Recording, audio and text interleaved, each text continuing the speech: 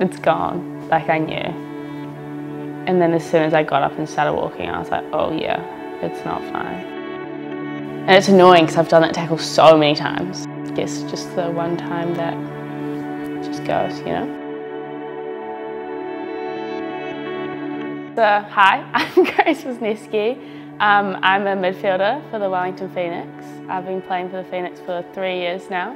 Um, I first joined Phoenix in 2021, so the first season when we flew. I think I only found out, like it was very quickly, like I, it was in COVID, I found out I'd made like the squad and then moved from Wellington to Wollongong. I think when I look back at the first season, I've changed a lot personally and like even as a footballer, I think. And it was like I wouldn't change the first season for anything. I think I learned a lot about myself um, and like football in general. Like I think if I didn't go through that first season, I don't think I'd be still sitting here now and like talking about the football stuff. So yeah, I don't know, it was challenging, but it was a good experience as well.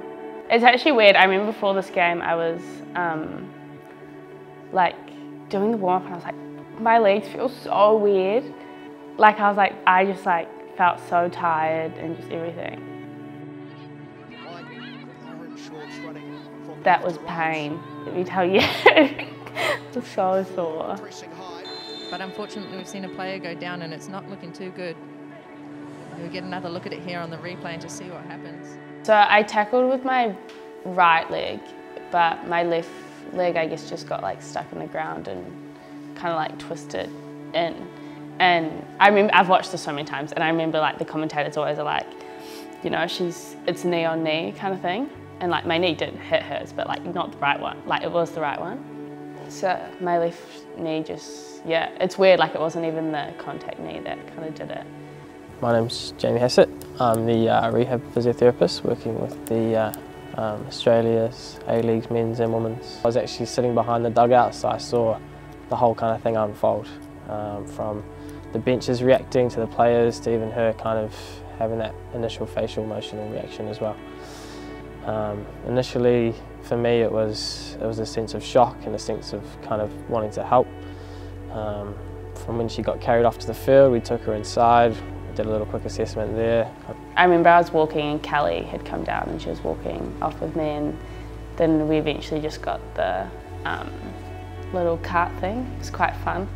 Um, to the change room and I actually went to the medical room straight away and Jamie was in there and Corey was in there and they were kind of like doing the knee thing and I remember just, I was just like, just tell me. Like, I was like, just tell me, like, I was like, it's like you guys can, I know you guys know. And they were like, no, like, they were like, we think you've like, you know, but we don't know, like, and stuff like that. But then I kind of, I just rang my mum, I grabbed Kelly's phone, I rang my mum and I was like, I'm fine. Like, I was like, it's fine.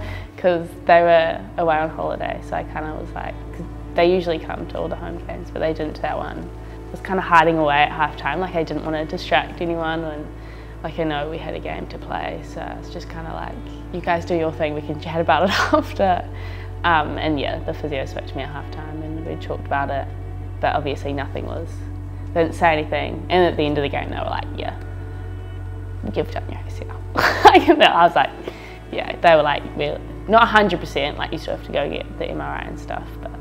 An ACL injury um, is a, an injury to the sort of anterior cruciate ligament of the knee, which is your your key player in terms of stabilising and keeping that knee functional.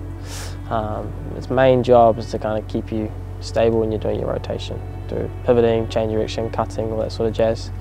In regards to football, it's actually one of the key players on the field in terms of you helping, like I said, change the direction, pivot, cut, all that sort of jazz. Leading up to the injury, I mean, it was the first, I think, maybe 22 seconds or something of that in the game where she kind of had that, that fall and tumble in the tackle.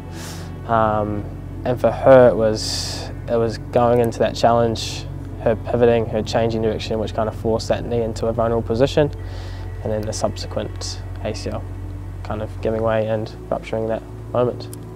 Since I did it, I've just been like quite motivated and quite like, nah, like I've got it kind of thing. I, the next day I came in and gymmed because I was like, I might as well. Like I was like, I went in and I was like, I didn't play the game. Like, Karen, can you give me a match replacement? Like, so we were doing like ropes and I was like sitting down doing ropes.